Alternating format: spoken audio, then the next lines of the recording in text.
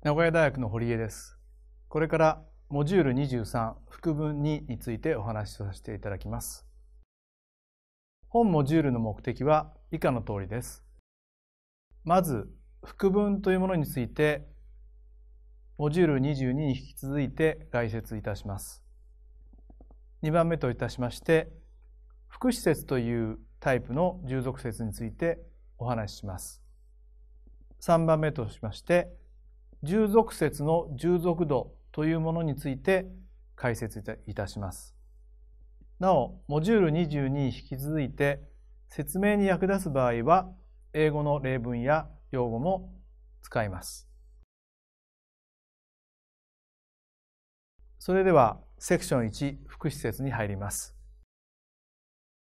副施設というのはどういうものでしょうか？副施設というのは、主説を副詞的に修飾する説のことを言います。そして、副施設は主説に対して様々な意味を補足し修飾する働きを持っています。例えば、条件、目的、原因、理由、時間といった意味を主説に対して補足します。例文1、困ったことがあったらいつでも相談してください。この場合、副施設は主説に対する条件を表しています。2番、試合に勝つために毎朝早くから練習をした。この場合、副施設は主説に対する目的を表現しています。他の副施設の例を見てまいりましょう。3番、大雨が続いたために川が氾濫した。この場合、副施設は原因理由を表しています。4番、転んで怪我をしたときに知らない人が助けてくれた。この場合、副施設は時間を表しています。5番、私がやるように口を大きく開いて発音してみてください。この場合、副施設は様態を表しています。6番、その試験は考えていたほど難しいものではなかった。この場合、副施設は程度を表しています。副施設を表す形式には以下のような形式があります。例えば、7番、質問がなければ今日の授業はこれで終わります。このような形容詞の活用形が使われることがあります。8番、一生懸命練習してもちっとも上達しない。この場合、動詞の手形と取り立て助詞が用いられています。9番、電車が遅れたために遅刻した。この場合、形式名詞、ためと格助詞にが用いられています。10番、風邪をひいたから休みます。この場合、接続助詞からという形式が用いられています。このように副施設を表す形式には様々なものがあります。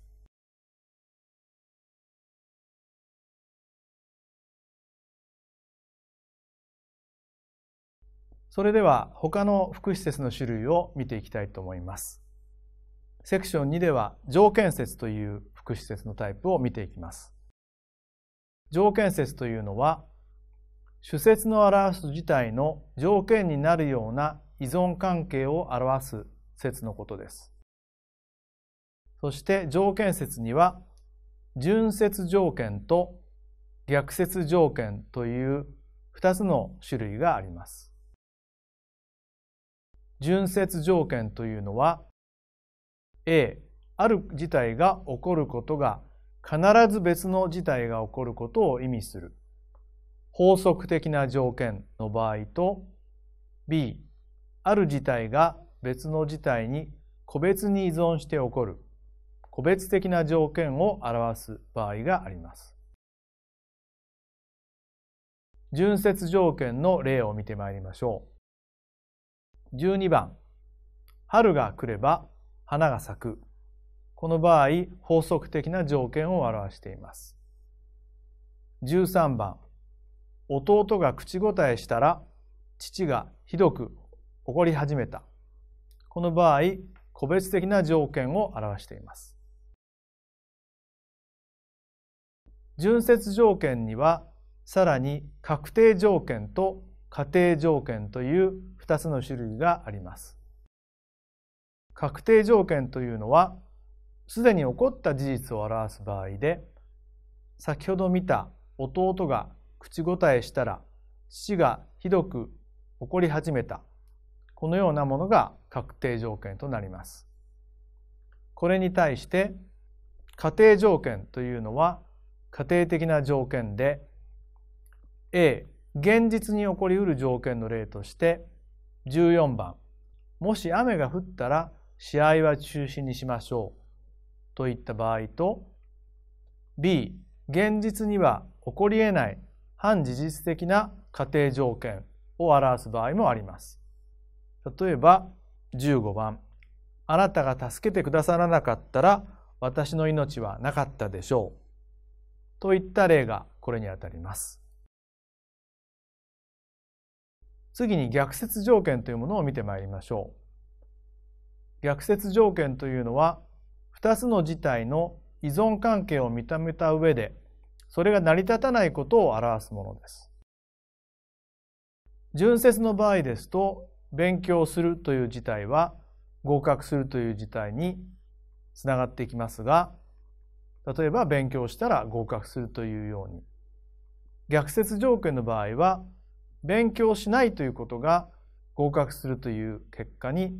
つながっていくということで勉強しなくても合格するといった例が逆説条件の例となります。逆説条件の表す形式にはてものに立ってとしてもにしてもにしろにせよようがといった形式があります。逆説条件の分類としては順説の場合と同じですが法則的な条件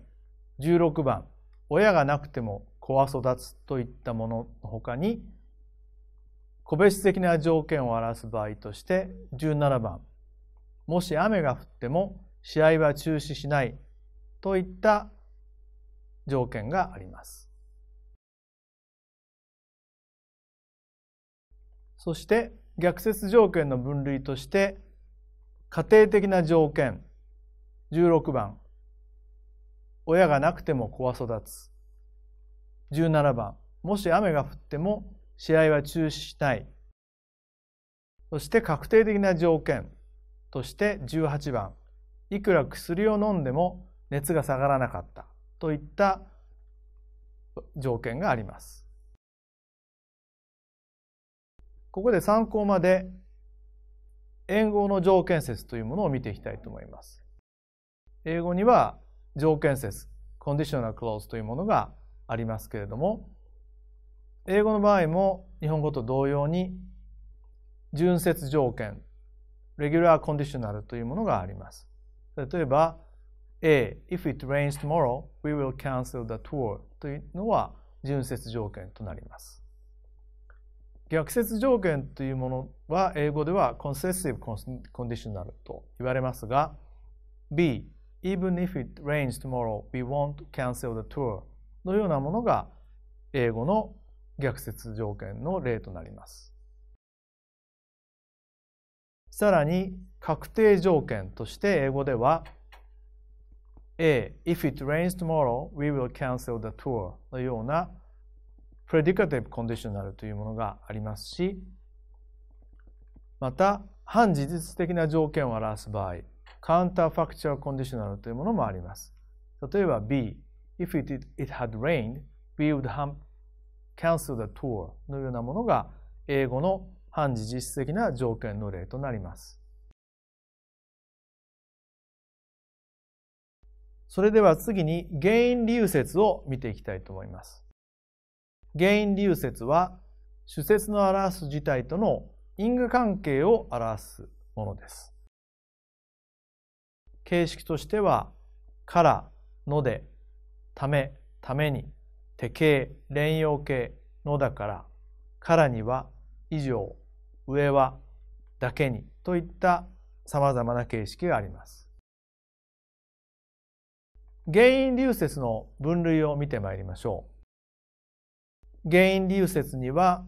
事態の原因や理由を表す場合として例えば例文19番雨が降ったために道路が濡れているといった場合や判断の理由や根拠を表す場合例えば20番道路が濡れているから雨が降ったんだろうといった場合があります。ここでまた参考までに英語の原因理由説 reason clause というものを見ていきたいと思います。例えば A because it rained the ground is wet この場合は因果関係を表しています。B because the ground is wet it must have rained この場合は判断の根拠を表しています。このように英語にも原因理由説があり因果関係や判断の根拠といったものを表しています。次に時間説というものを見てまいりましょう。時間説というのは主説の表す自体の時を表す副詞説です。いくつかの種類があります。まず1番目としまして、主説の表す事態が起きる時と同時に時間説が表す事態が起きるといった場合を表すものがあります。この場合に用いられる形式としては、時、折、際、際に、頃、瞬間と同時に、旅、旅に、ごとに、につけといった様々な形式が使われます。例えば、23の例文。出張で札幌に行った折に先生にお会いしましたといった例文がこの例となります。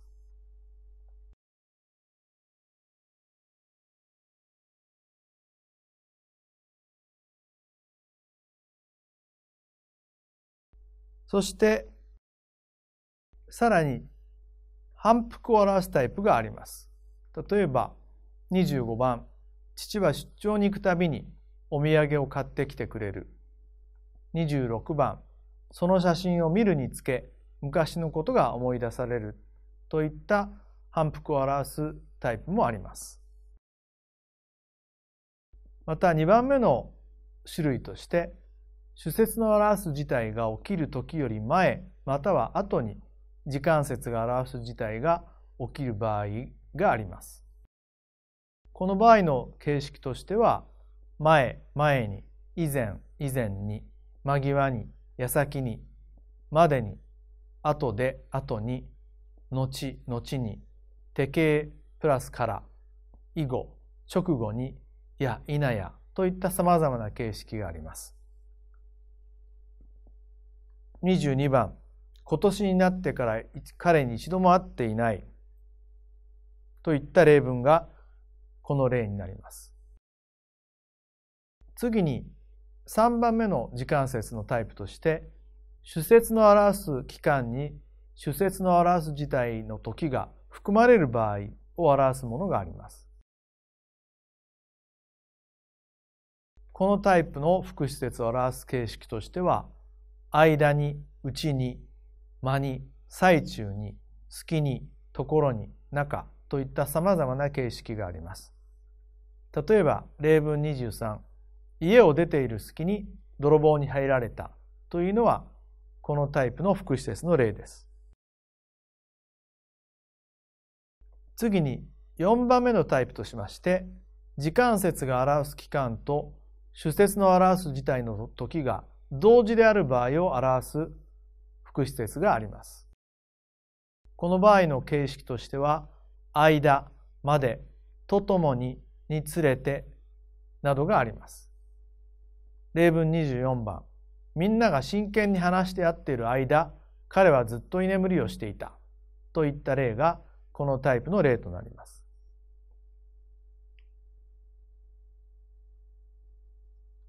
また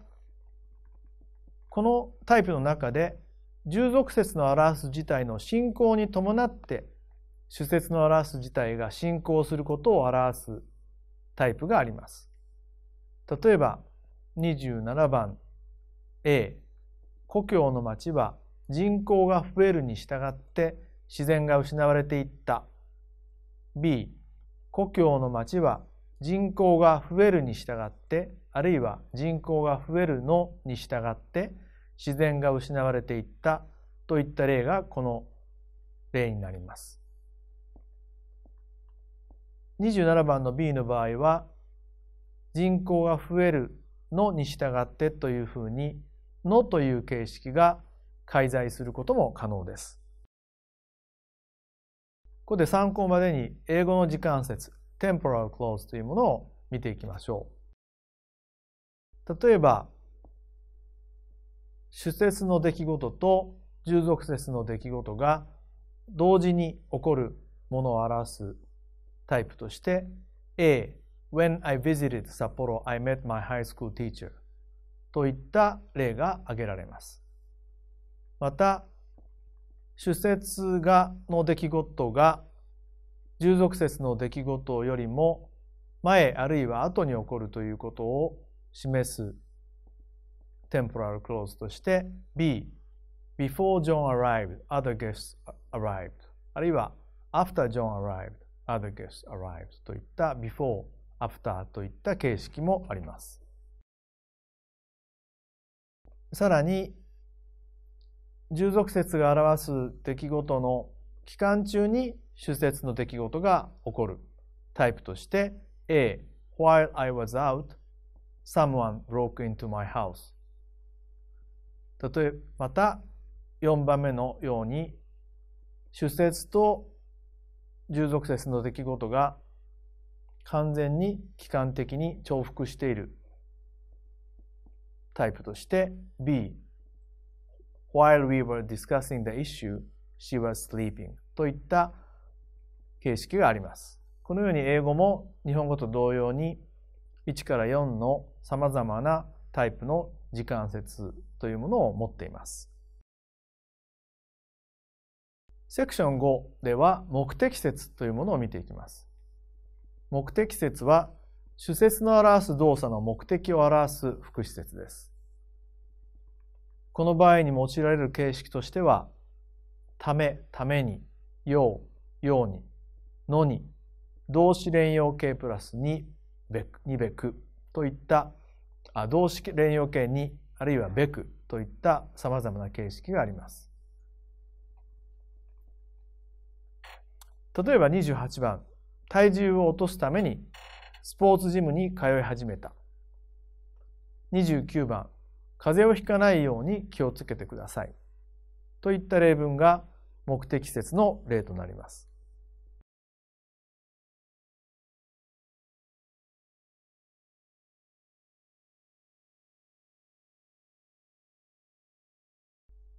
はい、えー、さらにですね子供の洋服を買いにデパートに行った30番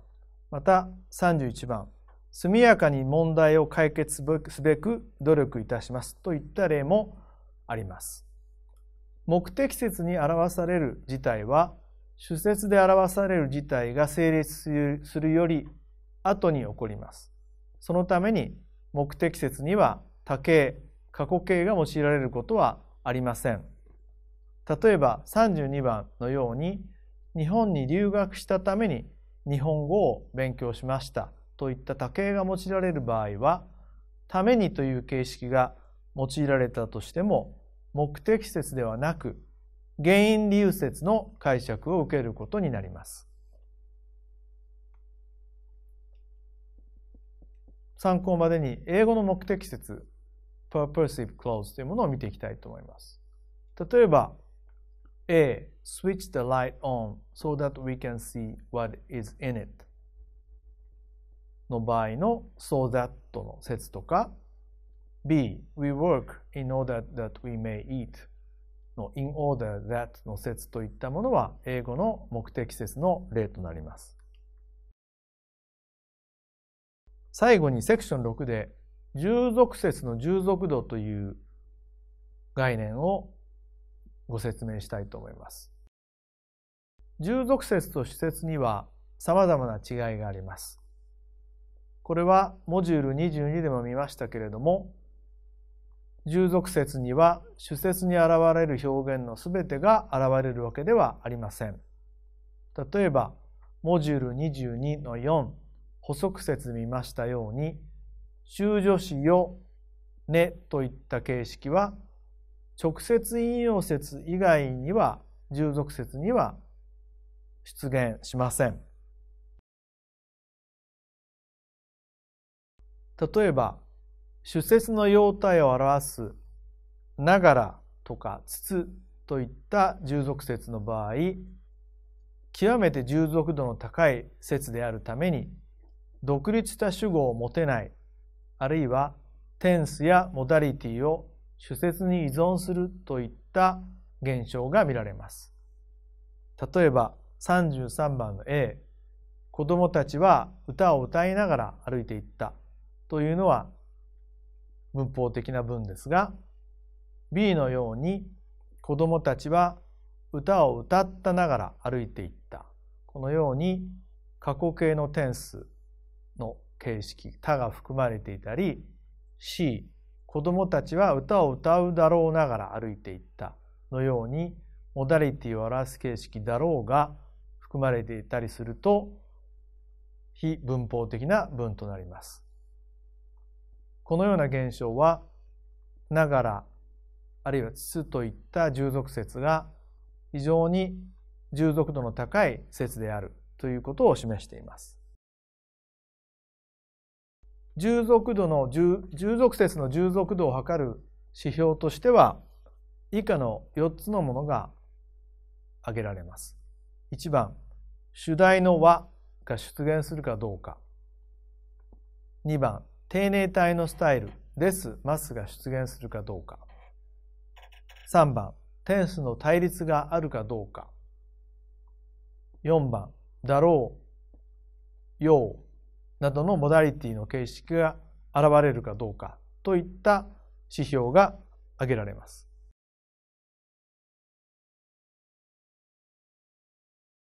例えば、統一説と並列説というものをモジュール22で見てまいりましたけれども、遠い説は並列説よりも従属度が低いということが言えます。これは、例えば主題の和が出現するかどうかということの違いによって確認できます。例えば34番、遠い説では、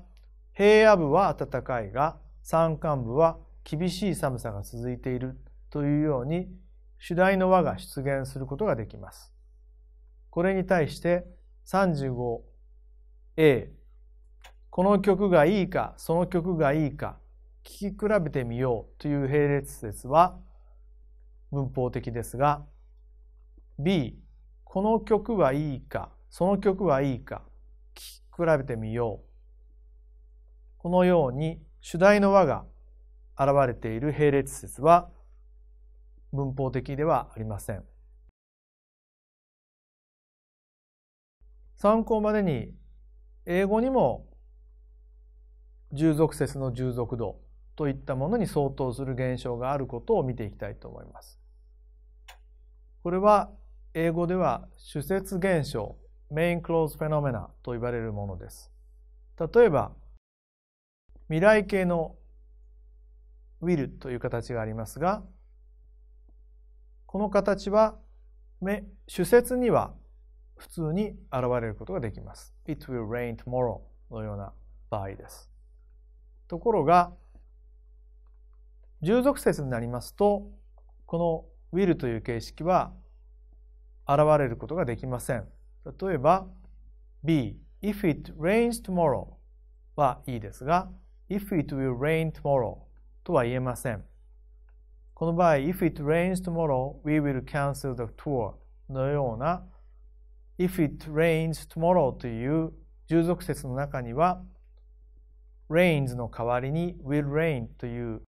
will の形式が現れることはできません。これは英語の主説現象の一例です。また、さらに、統治といったような現象も一般的には従属説には現れることができません。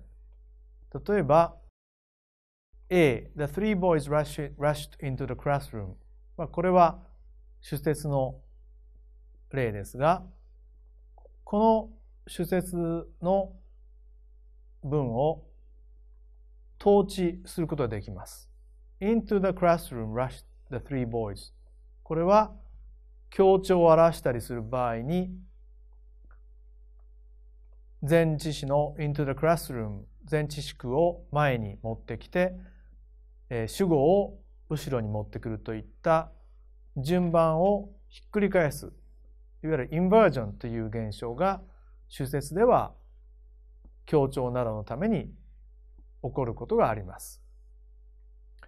ところが従属説になりますとこのようなインバージョン統治といった現象は一般的に起こることができません。例えば B When the three boys rushed into the classroom, the other students were studying geometry といった場合に